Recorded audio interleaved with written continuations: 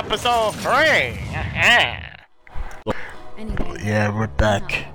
I know I'm not like this man, okay? I, I, I'll do whatever I can. I'll do whatever I can to stop him. Um, in the meantime, since I'm here, um, you don't mind if I come back here and, you, you know, poke around uh, under the little mousetrap? If you can only put down your pants, and I can stick this weapon within you. It's incomplete, but it's all You wanna know what's incomplete? Your life. You're just following this man and narrating everything he does. Who the who the hell you think you is? Steve Harvey? Nah. And this game's not action packed. You lied to me, Alan. You lied to me. Alan, you lied to me. You son of a biscuit. If you don't get out of here with your little boy toy ride, What? I'm gonna slap that black off of you and tell you I bano. Comprende?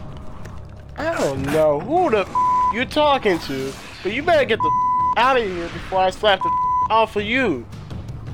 Senora. Jesus. You stupid dog. Oh snap, never mind. I don't got time to talk to you, man. I gotta, I gotta get these guys down. Now hold on, homeboy. Me, you still got a thing to settle. Now you better What? get off of Wait, that game what? before I slap you. What, what the heck?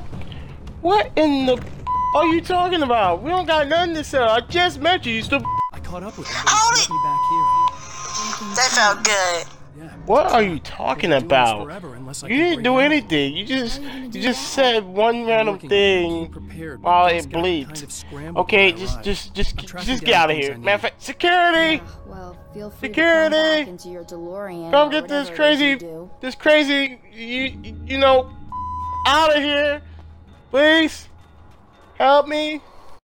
Thank you for watching. This is all I got thus far. Um, I hope to make another one again or like a part two. But for now, this is it. So thanks for